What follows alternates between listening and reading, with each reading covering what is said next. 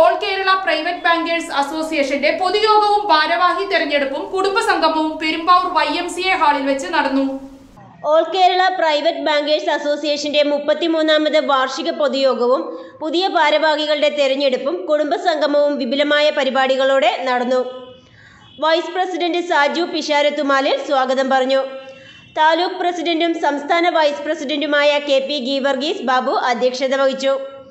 ജില്ലാ president Francis Xavier വിദ്യാഭ്യാസ award വിതരണം ചെയ്തു. സംസ്ഥാന രക്ഷാധികാരി സി എം ജേക്കബ് ഇരുപത്തിയഞ്ച് വർഷം പൂർത്തിയാക്കിയ സ്ഥാപനങ്ങളെ ആദരിച്ചു.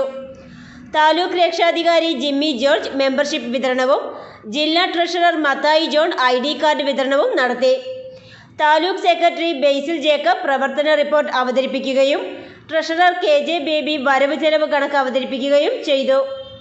Auditor N K Baby audit report അവതരിപ്പിച്ചു. സംസ്ഥാന secretary M V Girish taluk joint secretary Abraham Paul എന്നിവരും പങ്കെടുത്തു. News desk Perumbavoor.